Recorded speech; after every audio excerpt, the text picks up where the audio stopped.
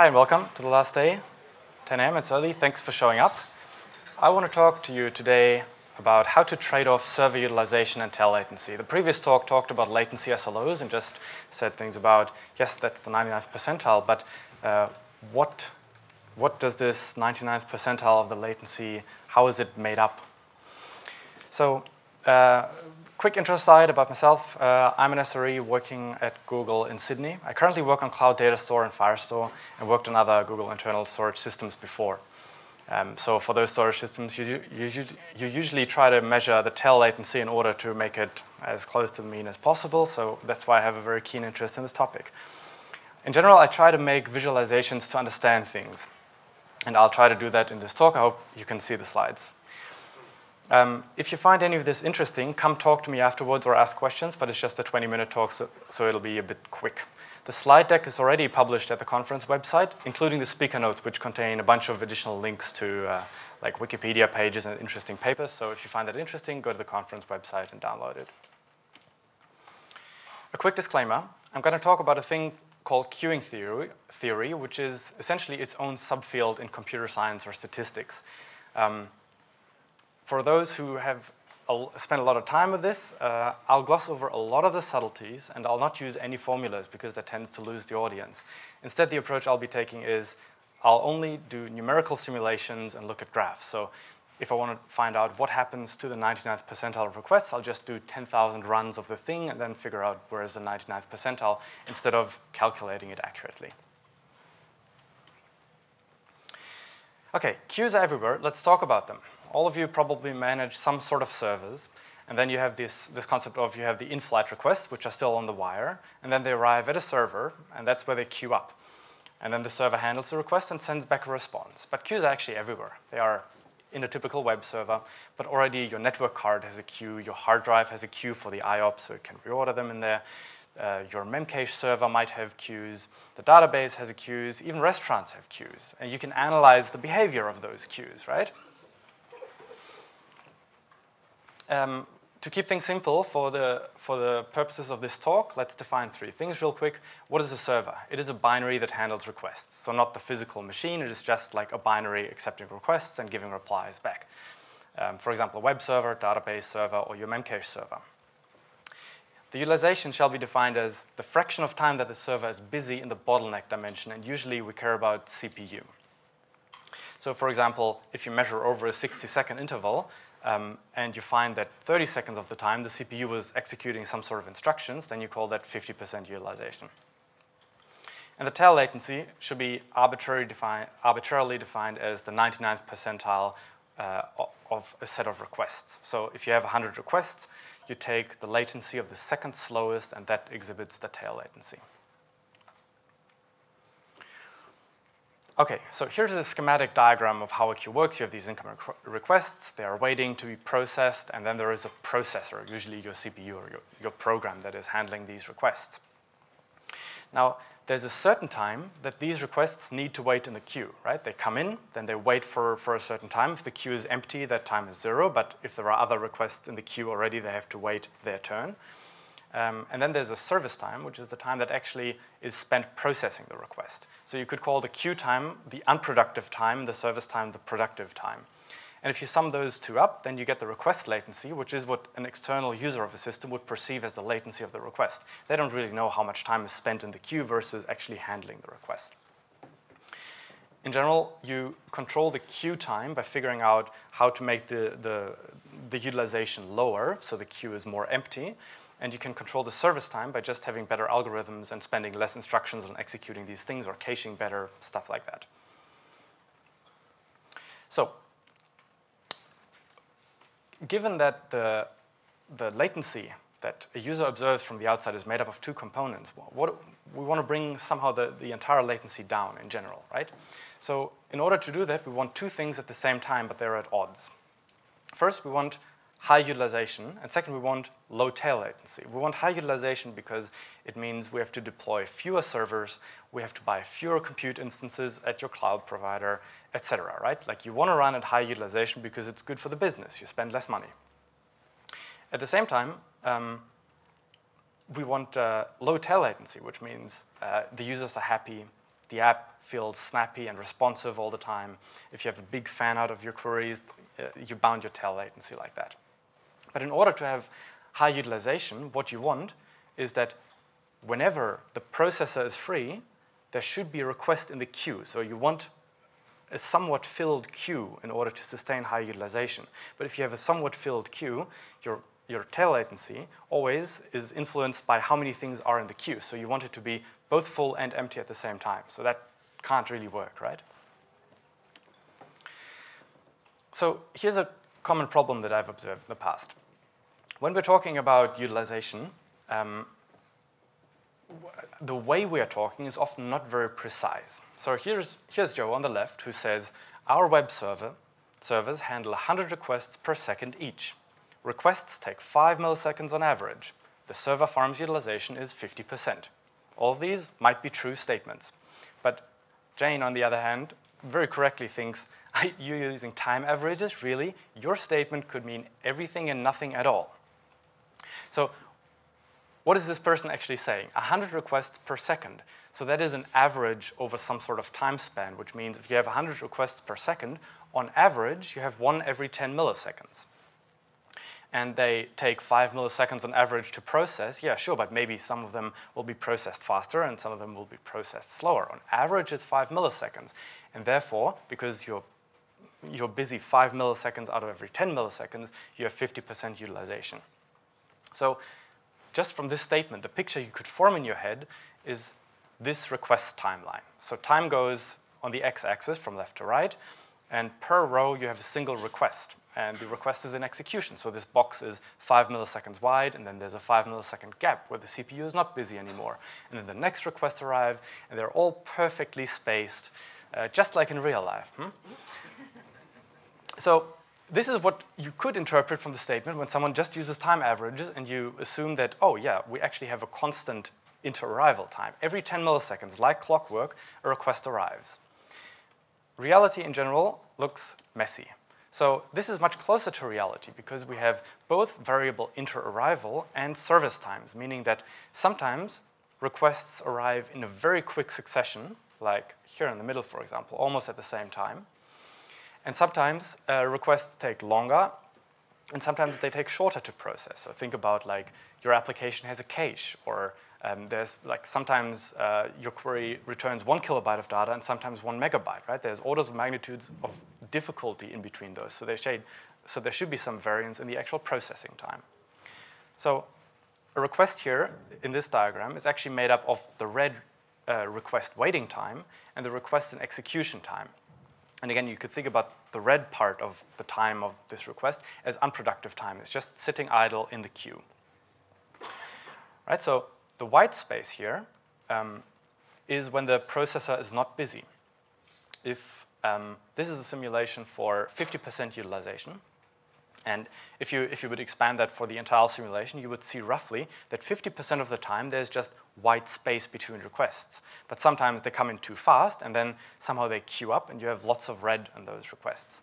If you're curious about what the title of that thing means, MM1, it just means there's a single processor, and the inter-arrival time is what's called memoryless, because the requests are independent from another. And um, the request execution time is also memoryless, so it just defines what sort of distribution the randomness follows. So now if we talk about the tail latency of such a scenario, I've moved forward in time, so we're at uh, maybe second number two in the, in, in, the simulated observation, and the request in the middle actually it exhibits the 99th percentile latency. And what we can see is that it's mostly waiting, right? It could be super quick to serve. It's maybe, yeah, on average, requests take five milliseconds to serve, but this one is mostly waiting. So that's what the user perceive. It's mostly unproductive time.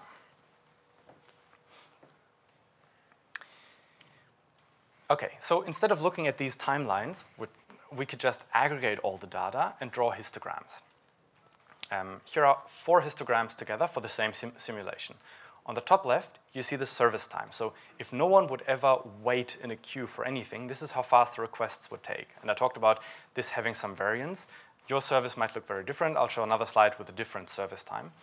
Um, in this case, I just took an exponential service time with an average of five milliseconds. But we can see that the vast majority of them are, uh, uh, take less than five milliseconds, but there's a somewhat longer tail of requests that just naturally take longer than five milliseconds. But on average, it's five. We see that naturally already we get uh, 22 milliseconds at the 99th percentile, even if you don't have to wait. Now, essentially what, um, if you would record for any, any one request that comes in, how long does it wait in the queue and how do, does it actually, how long does it process? You would get a graph like this, where you see that um, more than half of the time, the time spent in the queue is nothing at all because you have 50% utilization. As the request arrives, there's a 50-50 chance that the queue is entirely empty and you can start processing right away. But once there is a request in there, you get this long tail. Um, and then if we add the two together, we find that essentially the service time from above gets dragged out to the right. So on average, you'll have uh, twice as long an observed latency for the outsider, and the tail is 44 milliseconds. Um, it's very unlikely, so you should note that this 44 is not the same as the sum of these two uh, P99s because it's very unlikely that a request that is both difficult to serve is, is, the same request that also happens to arrive at an unlucky point in time when the queue has lots of requests. That's why the, the P99 of the sum of these is strictly lower than the sum of the P99s. And we can see that the number of requests that you find as you arrive at the server also has a very similarly shaped distribution. In particular, you can see I did 20,000 samples of these, and because the utilization is 50%, exactly 10,000 samples found the queue completely empty.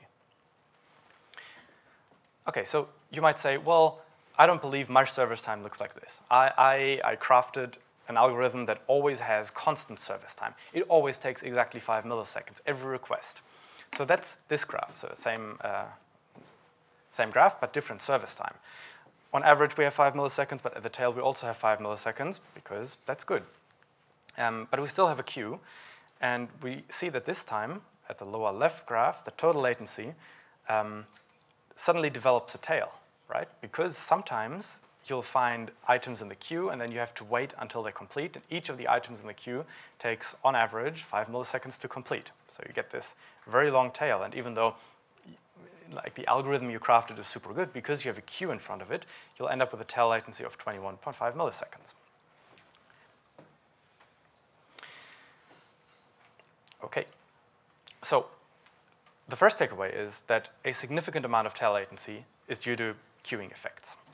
Right? It is just, uh, you never really know until you measure, but if you've not measured it, you shouldn't assume it's zero, right? It, will probably be a significant amount of, uh, of uh, tail latency. Now, I just uh, sampled from mathematical distributions, and they are very much standard distributions. But you could do this for your own service. And the way to do this is that you get a representative set of inter-arrival latencies. So for example, for a short amount of time, you just log the timestamp of every arriving request, and then you just sort them in order and compute the delta to the next one. Now you have a distribution of how long is the time between any one request arriving, and you can plot it and see how it actually looks like. Um, then you can either measure or estimate the service time. Um, estimating is easy. You could just posit saying it is always five milliseconds. Um, measuring is hard because usually you need something like very precise per thread counters and they have overheads, so that's sometimes difficult. Uh, but you see that sometimes tail latency effects dominate just because of the waiting time, not because of the service time. Um, and then you just sample from both of those calculations um, and run them through, through a simulator and generate these graphs. And in order that you can do this easily, in the speaker notes, uh, I've linked to uh, the equivalent of a Jupyter notebook that has a bunch of Python code to generate these graphs. Uh, so it should be fairly easy to replicate. So we all we didn't talk about utilization yet, right? Because the utilization in the previous examples was 50%. So what if I go higher or lower? Does it change something? So you don't actually have to do that in prod and see it break in order to figure out what the effect uh, of increasing or decreasing utilization would be. There's an easy three-step process. So let's say um, I want to compute the desired utilization if I increase it by, sorry, I, uh, I increase the utilization by 10%, what would happen?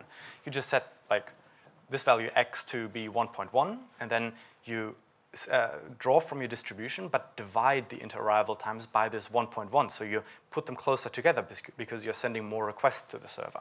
But you keep the service time unchanged because your binary doesn't process things faster just because you send it more requests. If anything, slower, but we'll keep it constant.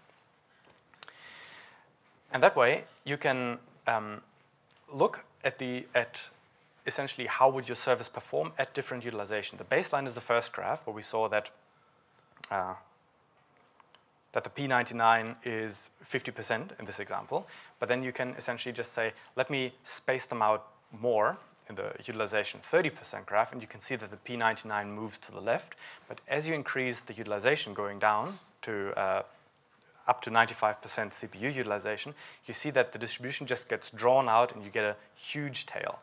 The gray boxes around the P99 is half a percentile left and right in order to show you the uncertainty of the measurement. So what we can see is that this is pretty terrible, right? Like you can't really run your service at, at above 60% utilization maybe because your users will suffer. So queuing effects increase super linearly with utilization, right? The first time you increase your utilization by 10 percentage points, your latency suffers. The next time you do it, your latency suffers even more.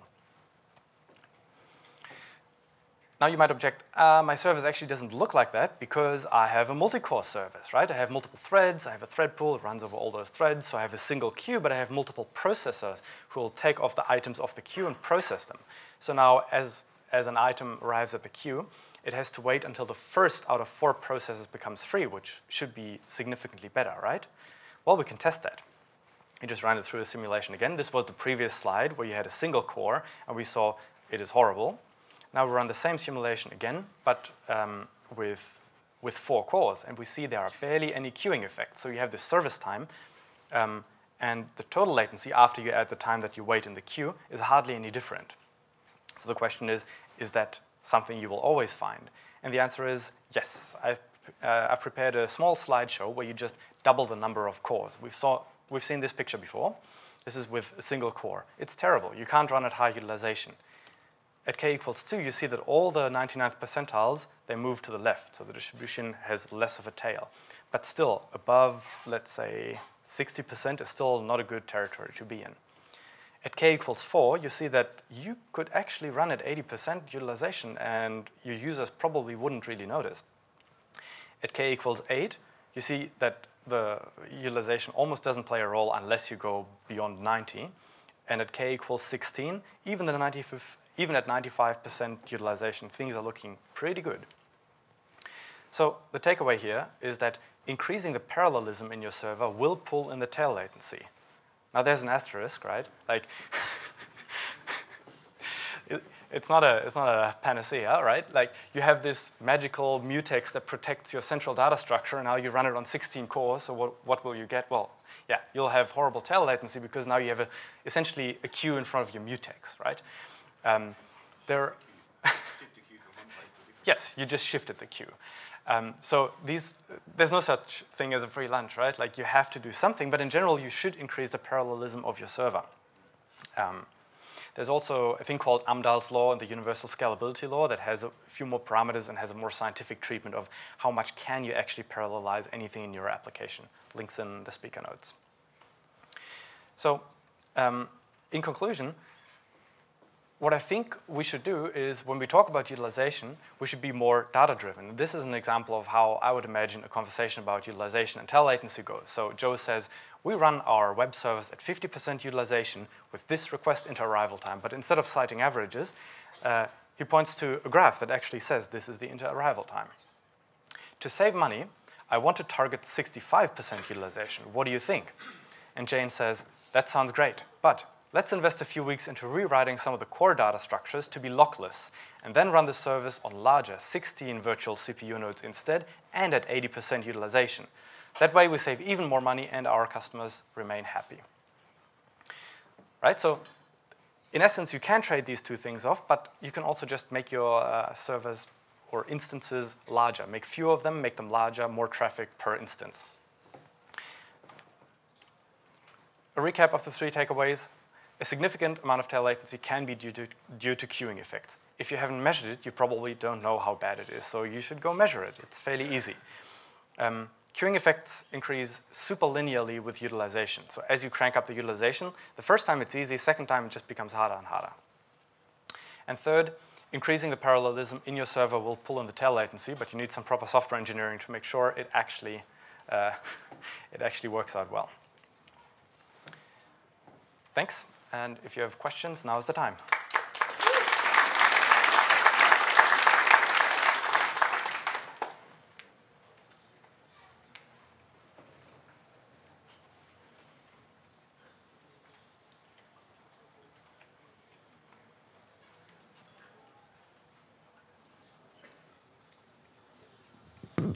Hello. Hello. Thanks for the talk. Uh,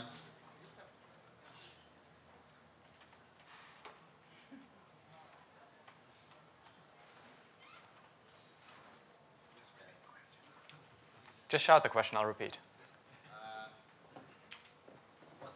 so you had an asterisk there, and like my question is, when you have the parallelism, and, and this whole thing works if you can ensure that uh, the item from the queue gets picked up by the next available uh, free CPU, right?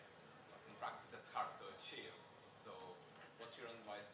What What is your advice on the, let's say, load balancing algorithms? Like, should they be like as a feedback loop, or should the system somehow determine? How does the system determine that the, a specific CPU is free or not? Yeah, it's a, Is it it- it's, a, it's a good question. So, so your question is about like load balancing. How would you determine which CPU is free? Yeah. Um, I think you could approach this. Last year, I gave a talk here where, where I advocated the same thing: run larger instances because then your variance between the, the fullness of, of servers goes down. Um, but there is a difference between asking over the network, hey, backend, do you have capacity to take this request? Because that, that'll take like hundred, hundreds of microseconds versus a CPU uh, potentially even spinning to take new requests. If you run at high utilization, spinning is not going to cost you very much because most of the time you'll not spin for long because you run at high utilization, right? So there's orders of magnitude difference in the um, time for, for a CPU to pull, to pull something from the queue. Does it answer the question?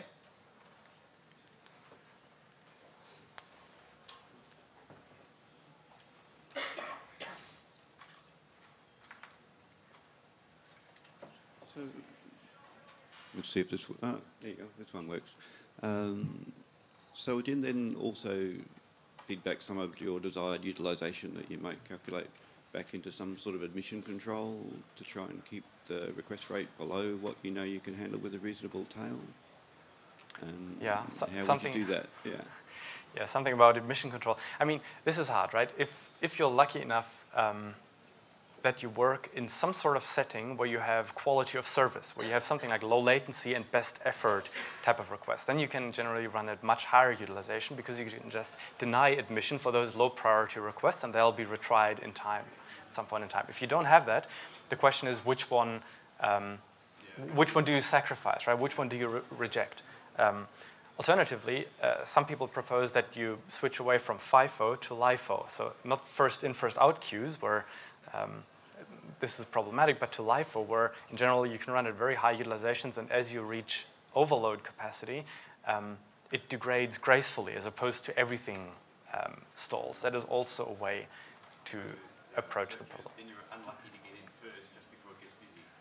Yes. So you, you have maybe a sh- shorter tail, but very long, but not many people, not many requests. Exactly. I think in general for these types of problems, what I would suggest is do simulations, right? Like because every every service is different, has different characteristics. So the yeah, usually you should you should just take a sample of your traffic and try to replay it at different configurations in a simulator, and that's probably yield you a good an- answer. Earlier we used to use like a stress test Um, another quick question. Oh, sorry, are you done?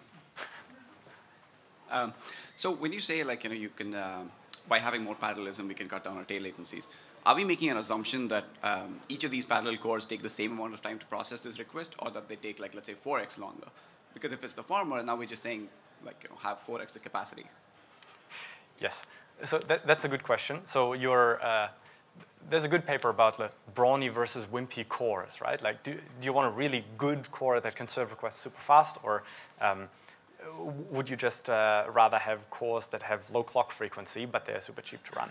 Um, it, the underlying assumption with these simulations is that instead of, let's say, having 100 web servers with one CPU each, you would now run 25 web servers, but they have four CPUs each. So it, it is more like you just run fewer instances, but on the, uh, on the same cores with, uh, but more cores per binary. That, that is the underlying assumption, right? Um, but in terms of the total number of requests we're processing, like you know, now we've just shifted it from let's say like one request per web server to like you know four Yes. per each. Um, so I guess this makes the assumption that um, these are somehow faster because staying on the same core allows them to like access the same data structures versus running on like completely separate hosts. No, they, they will become faster because as a request goes into the queue, it has four chances of a request completing very soon because you have four processors. So once it is in the queue, it has to wait. But the wait time is going to be much smaller because you go, um, it's like a random variable over how long until the next processor is free. But you take the minimum over four different random variables, which is significantly lower. Like th that's how you pull in tail, the tail latency because you have four chances of a processor becoming free as opposed to one. Uh, in your uh, first graphs, you assume that the incoming requests are independent. If they're dependent, does that change the outcomes? So, good question. Uh, the, the, are the requests actually independent? Um, that's what I call memoryless inter-arrival time means essentially uh, requests are independent of one another. That is generally how you model like how people arrive at a restaurant or something like that, or at, at the supermarket. Um, earlier in the talk on, on Monday from Baidu, there was uh, this same statement was also questioned. Are requests actually independent? And no, they aren't, right? Like you load the main web page and it loads JavaScript. So like a request begets other requests directly. I found in looking at uh, the distributions that they are actually more bursty in general than, um, than the, the exponential distribution, which means they, they uh, sometimes they come in bursts and the lulls are longer, the, the, the, times where no requests arrive at all. That's why I would suggest not just assuming memoryless arrival time because it's likely not true, um, and actually measure the inter-arrival time by just noting down the timestamp of every request and then turning that into a distribution because you'll probably find that it is worse than the textbooks assume.